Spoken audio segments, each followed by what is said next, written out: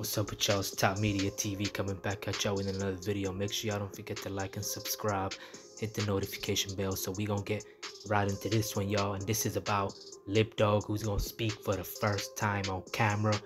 And he gonna and he's gonna speak on things at death row that was going on, various stuff, the murder of Tupac, the beatdowns, how Suge was using torture tactics against some of his clients or people that was working at death row all that. So a little background on Lip Dogg. This is the dude that Mob James had sent to prison along with FG. So FG had mentioned Lip Dogg as being one of the guys that was in prison in federal custody. Had to do over 10 years. He did more time than all of them, according to FG. So he's gonna speak, y'all, and he's gonna speak on things that was going on. But let's check it out, y'all.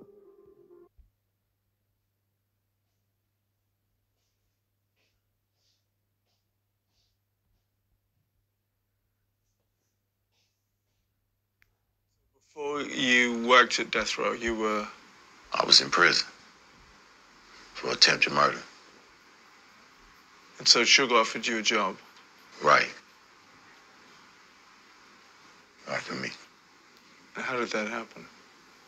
Well, when I got when I came home, one of my associates took me to where Suge was at. Suge was about to go out of town, and uh, before he uh, got aboard the boarded the plane, me and him, you know, hooked up. Cause I know Suge prior from then.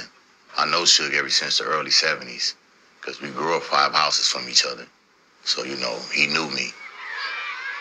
Suge couldn't even play with us. His mother wouldn't let him play with us.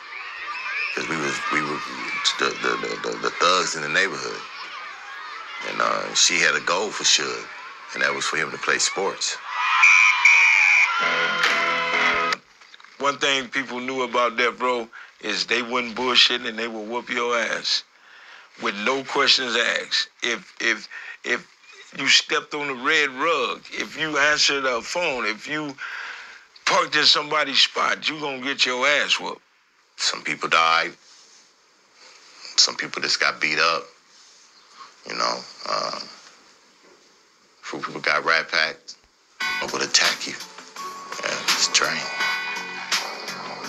Think it, the dog thinking you trying to get next to him, next to Suge. And if you trying to get next to Suge, that dog is gonna attack you. You know. And is it true he had like piranha fish? Yeah, he, yeah, he had a he had a black tank built into the wall in his office, and it was dark. I, I it was black piranhas. We used to feed them blood worms. He used to buy a big pack of blood worms and put them in there, and they just go crazy. Yeah.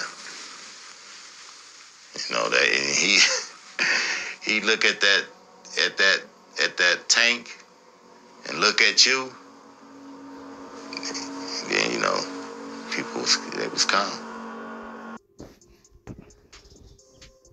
So that was Lip Dogg speaking on a particular situation where there was piranhas he had and somebody had came into his office for an interview. I guess the reporter had asked Suge a wrong question and it was said that Suge had actually held the man's head over the piranha's tank and he threatened him with him.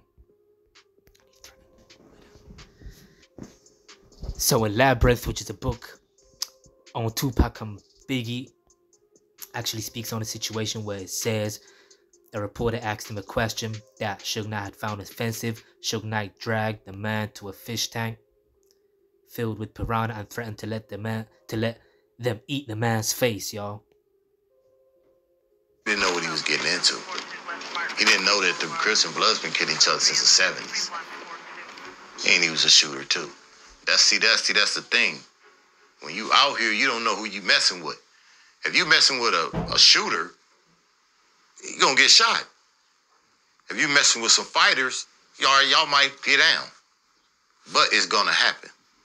That's the thing about it. it he's gonna come back. And that's how Orlando. You're gonna get shot. If you messing with some fighters, y'all y'all might get down. But it's gonna happen. That's the thing about it. it he's gonna come back. And that's how Orlando was. He wasn't going for that.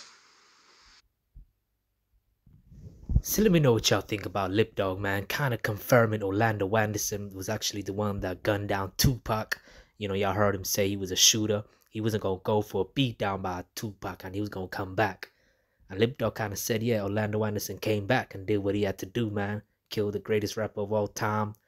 I mean, you know, let me know what y'all think, man, about Lip Dogg speaking on Suge Knight and the things that was going on at Death Row regarding beatdowns and stuff like that. And also him kind of saying, you know, this dude was the one who killed Pop, Baby Lane, Top Media TV. Make sure y'all don't forget to like, comment.